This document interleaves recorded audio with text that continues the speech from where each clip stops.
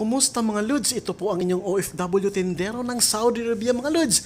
You're watching Torch TV. Eh, ang inyuhang dudong dyan dyan nga laagan dirnhi sa Saudi Arabia mga idol.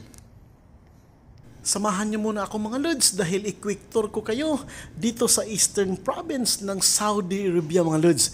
Dito sa Al-Hasa Hufuf, KSA mga idol. Ito ngayon mga Lods, dito tayo magsisimula dito sa Sako mga Lods, mga idol. Ito po ang Sako ay uh, kilalang uh, hardware dito sa Kingdom of Saudi Arabia mga Lods. Ayan, yan po ang uh, Intercontinental Hotel, isang po nga 5-star hotel dito sa Alhasa mga Lods. Ayan, so lakad-lakad lang po tayo mga idol dahil wala pa po, wala po tayong kotse. so maglakad lang po tayo mga Lods. So, wag nyo akong iwan. Samahan nyo ko mga idol. Dahil uh, kayong mga OFW dito sa lalo-lalo na na nakapunta at nakatira dito sa Hufuf mga Lods ay nako talagang uh, panoorin nyo itong mga idol parang ma, maano ninyo, ma-remember ninyo ma ang lahat ng mga kaganapan sa inyong buhay mga Lods na nandito kung that time na nandito pa kayo sa Hufuf uh, Saudi Arabia mga idol dahil andito tayo ngayon sa Hufuf ayan So, tulungan niyo ako, samahan niyo ako mga lods, maglakad.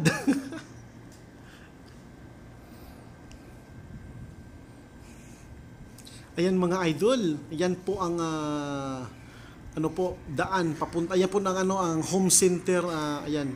Home center uh, at saka uh, center point. Ayan. Alam niyo mga lords kung ano matagal kayo dito or nakapunta kayo dito sa ano sa Hufuf Al Alhasa uh, Saudi Arabia mga idol, mga idol kung na napuntahan niyo tong lugar na ito talagang sure ako mga lords na maalala niyo to maala, maalala ninyo po. Nako ang hirap magtagalog mga lords. Sure ako na ma-remember to ninyo mga lords ang uh, lugar na ito. Ayan. Yan po ang uh, home center center point mga idol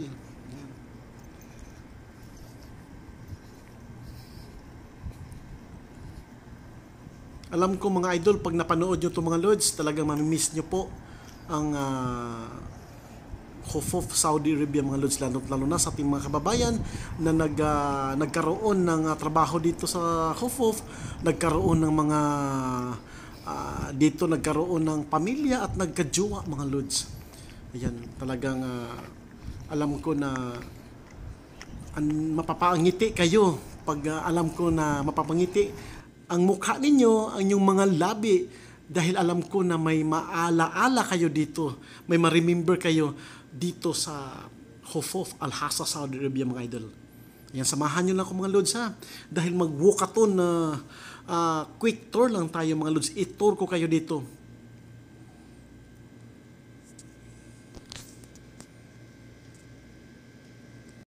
Sino mga uh, nakapunta na ditong mga nagtatrabaho dito dati, alam ko na miss nyo na itong dinadaanan na to. Kaya tutok lang sa ating channel mga lods. Dahil uh, ipapakita ko sa inyo yung mga views mga update na mga daanan mga latest na na kumpuni na pong mga daan kitawid muna tayo. So ayan. So kung pinapanood nyo to maalala nyo talaga to. Mm. so ayan. During night time. Yan walkathon tour tayo. Ito tour ko kayo dito sa Hufuf. Part ng Hufuf Eastern Province Al-Hasa, Saudi Arabia. Ayan. Wakatuntor lang tayo mga kabayan ha? Dahil uh, wala po tayong kotse. Ayan. So sa mga kababayan ko sa mga dating nagtratrabaho dito dati mga OF, OFW dati na nanirahan dati dito sa Khufuf Al-Hasa, Saudi Arabia so yun, ito na po Panoorin nyo lang to. Kung may maalala nyo, maalala nyo pa ba to? Ah, libre ko kayong i i-walkathon tour sa ating ah, sa aking vlog of the day. Ayan. So time check natin is 12 midnight.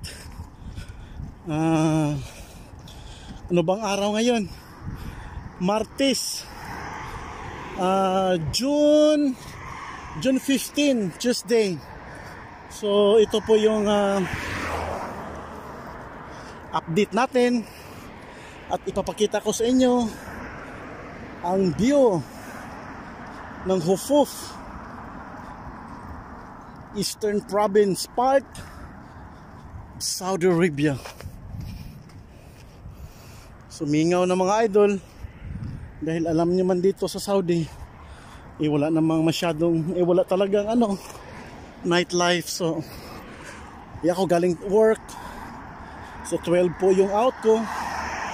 Kaya nga ito walkathon tour lang ako.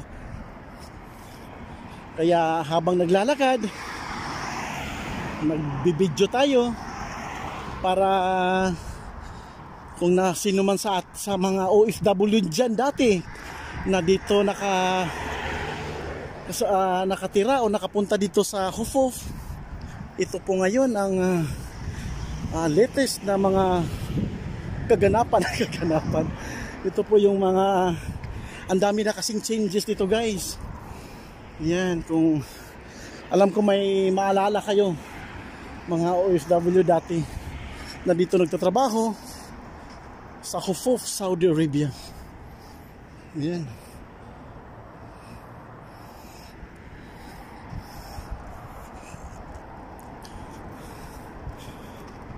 alam ko na miss nyo ang Saudi Arabia. So punta tayo sa Bacala Ah, may bibilhin na po tayo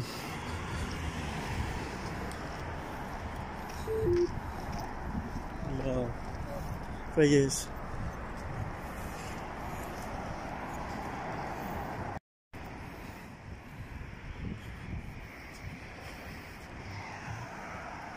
Ayan, ang dami nitong mga OFW na makaka-remember sa lugar na ito.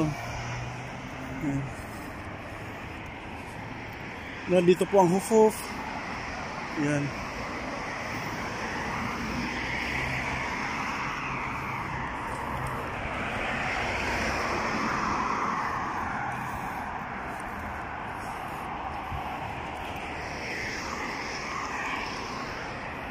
Yan. Siguro marami kayong ah, maalala dito mga, ka, mga kaibigan.